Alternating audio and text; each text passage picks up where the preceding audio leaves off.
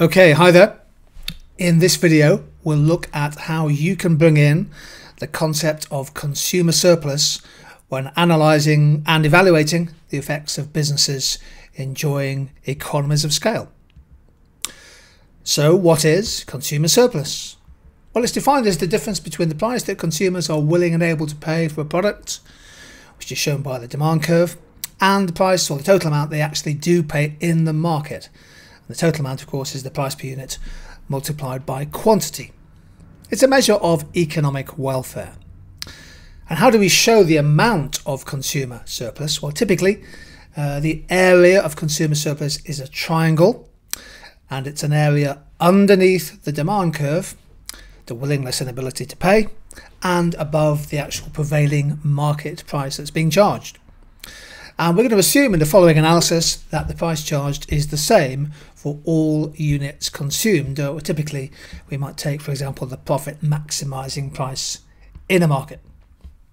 Now, why use this video? Well, because top answers in A-level and IB economics, the really good answers often make confident, accurate use of economic welfare and economic efficiency concepts. And consumer surplus is a measure of economic welfare. So I strongly advise you as you're preparing for these papers, as you're revising hard to get top grades, to build consumer surplus into your analysis. So let's work through diagrammatically how economies of scale can affect consumer surplus. I'm going to be using cost and revenue curve analysis. Here we have a set of cost curves, MC1 and AC1, with a downward sloping average and marginal revenue curve.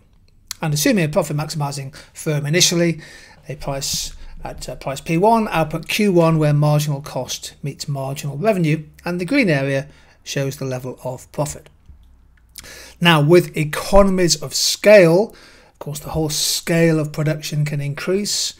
That allows a firm to move on to lower cost curves, for example MC2, AC2.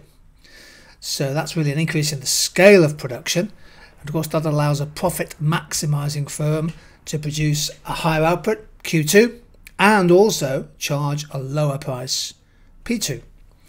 Now, if you're getting the analysis here, you should be able to think, okay, well, that's clearly going to increase the profits of the business. Indeed, it does. There's the cost per unit, and there's the new level of profit. So the business will benefit from economies of scale by making a higher profit, even though they're charging a lower price. But now think about the economies of scale and the link with consumer surplus. So to show that, and I think in an exam it's best to label rather than shade, but consumer surplus at the original price and output P1Q1 is shown by the area labelled A, B, P1. That's consumer surplus. But can you see with scale economies, we moved output Q2 and price P2. So consumer surplus at output Q2 is shown by the area A, C, P2. So there's been a gain in consumer surplus of P1, B, C, P2. P1, B, C, P2. So economies of scale can lead to an increase in consumer surplus. And my strong advice is to use these concepts as part of your analysis. Now think about how you might be able to apply this concept in your writing.